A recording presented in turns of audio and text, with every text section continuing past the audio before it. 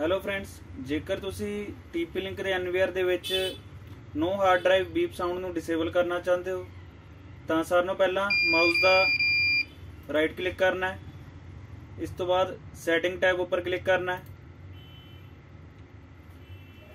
ਇਸ ਤੋਂ ਬਾਅਦ ਇਵੈਂਟ ਉੱਪਰ ਕਲਿੱਕ ਕਰਨਾ ਹੈ। ਇਸ ਤੋਂ ਬਾਅਦ ਐਕਸੈਪਸ਼ਨ ਡਿਟੈਕਸ਼ਨ ਦੇ ਉੱਪਰ ਕਲਿੱਕ ਕਰਨਾ ਹੈ।